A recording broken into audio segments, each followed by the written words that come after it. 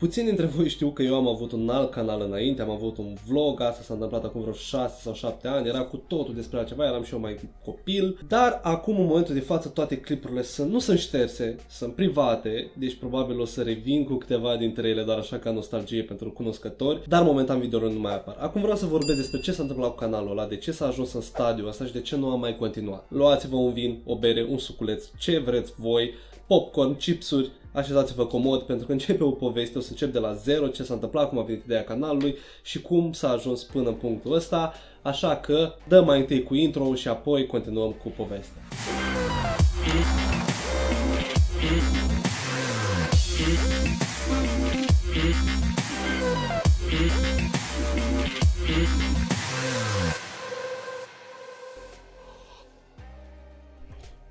Toată povestea începe undeva prin 2011-2012, când erau la modă și în vogă vloggerii. Cel puțin atunci a început Mikey H sau era în perioada în care ajunsese într-un punct în care era destul de cunoscut, cu doză de H și mi se părea absolut extraordinar. Mereu mi-am dorit să fac și eu videouri.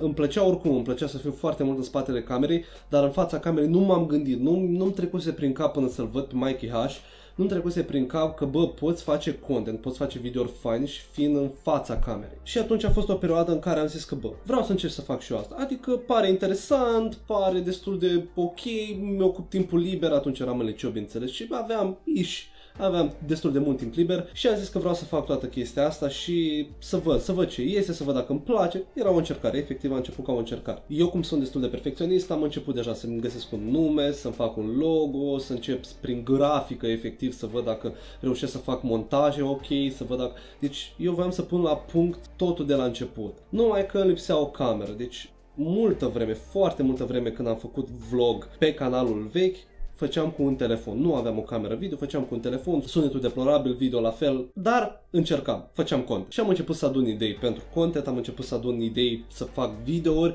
să, să creez, să ofer lumii chestii. În momentul ăla cea mai bună sursă de inspirație și singura, de fapt, cred că nu neapărat singura, dar era cea mai bună de pe atunci era Mikey H. Modul cum își organiza vlogurile, cum le prezenta, contentul, tipul de content, structura și scenariul unui video. Așa că mi-am făcut și eu planul și am început efectiv să-mi găsesc modalități de a filma și de a-mi crea un mini studio pe care să-l pot folosi. Trebuie să ne gândim și la faptul că eu stăteam cu ai mei atunci, adică nu aveam foarte mult spațiu pentru mine, aveam o cameră unde puteam să filmez din când în când și nu puteam să umplu pereții, să-i fac fel și fel de chestii sau să fac un background cum vreau eu, pentru că da, era totuși casa lor mei. Și ai mei n-au știut o bună vreme ce fac eu. Deci ei chiar n-au știut. Și după ce am început să fac grafică, intro, pagină de Facebook, pagină de YouTube, canal de YouTube, mă rog, a apărut vlogul sau, mă rog, canal de YouTube Sinteza de Demență. A fost un brainstorming, a fost efectiv un brainstorming în care, în care aveam două sau trei coloane de cuvinte, cuvinte care se potrivesc cu ceea ce vreau eu să fac, adică gen rezumat, sinteză, sumar și chestii de genul ăsta, apoi chestii precum dement, nebun, ieșit din comun și am încercat un nume cât mai scurt și culmea a fost că a ieșit într-un final și asta a fost total neintenționat, recunosc acum că seamănă, dar a fost total neintenționat sinteza de demență cu doza de H. Bine, n-au, nu pot să zic că neapărat sunt sinonime, poate doar sinteza cu doza, dar a fost trei, trei cuvinte, trei avea el, trei aveam eu și a fost cele, na, a fost un match, a fost, a fost o potrivire pe care lumea a sesizat-o ulterior. Și am început să filmez, am început să fac vloguri, am făcut primul vlog. Primul vlog când l-am lansat am avut super mare emoții. Nu știam ce o să creadă lumea și asta este problema, este o problemă extraordinar de mare pentru vlogger și youtuber, ce o să creadă lumea. Nu contează ce crede lumea, asta mi-am dat seama abia acum, dar pe atunci fiind în liceu și fiind chestia asta, na, ești în liceu, contează popularitatea, contează foarte mult imaginea ta, atunci aveam un stres enorm ce o să creadă lumea. Și când am lăsat primul vlog, mă oprea sau mă rog, mă saluta lumea pe holul liceului și îmi spunea bravo Alin, chiar mi-am făcut câțiva prieteni atunci, câțiva amici cu care am colaborat, dar majoritatea îmi spuneau bravo, mă, super tare. Asta mi-a dat un impuls, mi-a dat un boost la început și am zis că mamă, stai să vezi că e super ok ceea ce fac. Și am început să fac content și am făcut video după video, postam o dată pe săptămână, după aceea inventam fel și fel de emisiuni gen, am făcut uh, Dr. Facepalm, parcă în care citeam comenturi sau posturi de pe TPU, toți pentru unul, sigur sigur știți site-ul în care sunt o grămadă de idioțeni, apoi am făcut Zodiacul în care am făcut așa un, niște episoade despre zodii super faine, bine mi se păreau amuzante, acum mă uit la ele sunt puțin cringe, dar erau destul de ok, să zicem, pentru vremea aia. Adică aveam content, content diferit, stilul de content de vlog, entertainment, amuzant. Puteam să umplu, puteam să umplu contentul ăsta foarte mult. Și treceau zilele, treceau săptămâni, veneam cu idei, colaboram cu oameni, am făcut și provocări, am făcut o grămadă de prank-uri, am făcut efectiv tot felul de content. Țin minte odată că am participat la un concurs pe treaba asta, pe media, pe videouri, pe fotografie, pe montaje și așa și chiar am câștigat locul 2 atunci și am fost într-o tabără în județul Vrancea și chiar m-a recunoscut cineva acolo. Mi-a zis, mă, tu ești Alin de, pe, de la Sinteza de Demență. E un sentiment super, super fain, super fain. La un moment dat a existat un declic în care eu am început să am mai mulți dușmani decât prieteni. Nu vreau să dau nume, nu vreau să zic ce legătură avem eu cu acei oameni, dar au început să se lege super aiure de faptul că aveam vlog, am început să am din ce în ce mai mulți haters și pe YouTube, pentru că majoritatea din ce în ce mai mulți se dădeau seama că îi seamănă foarte mult cu doza de H și hate-ul era pff, a început să apară foarte, foarte mult și am ajuns într-un punct în care efectiv nu mai făceam față nu mai făceam față oamenilor care se legau zilnic de ceea ce fac, se legau zilnic de videourile pe care le fac, de cont, de munca mea, de muncă pe care nimeni nu o cunoștea. Era să vii acasă, să editezi, să încerci să postezi, să postezi la timp, este o leacă de muncă. Și să te joci, să încerci să faci videourile din ce în ce mai bun și acum este o grămadă de muncă. Atunci eram la început, nu știam cu ce se mănâncă și încercam pur și simplu, încercam să fie totul cât mai bine și munceam extraordinar de mult, muncă pe care nimeni nu prea o recunoștea dar hate-ul era acolo. Toată lumea din spatele calculatorului este super mare și tare și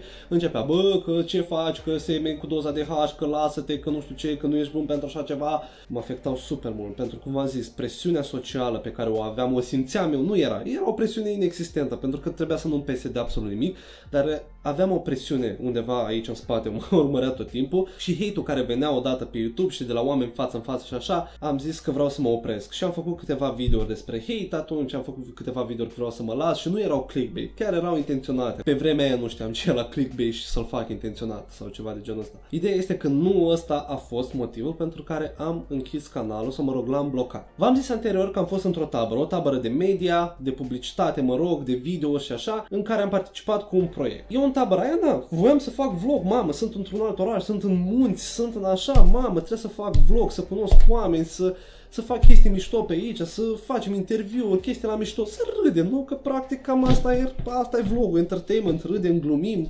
pamflet, da?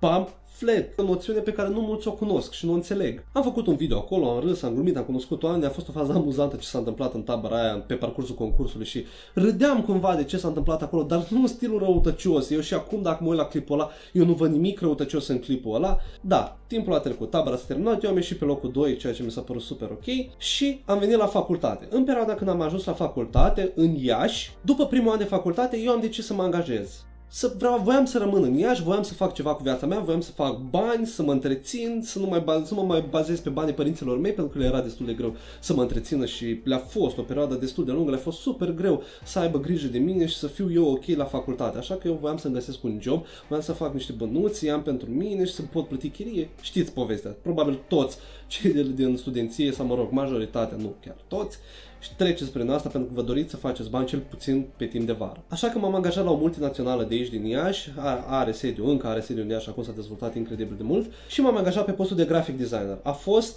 un boost, a fost, a fost ceva, nu știu, apogeul meu ca și, ca și tânăr, nu știu, pentru că foarte mulți tineri probabil își doresc să facă ceva productiv, să facă ceva din care să câștige mulți bani. Și eu am găsit aia, am pus mâna cumva pe aia, munceam foarte mult, făceam destui bani, pentru vremea aia erau destui bani și mă întrețineam, mă întrețineam singur, asta era singurul lucru important.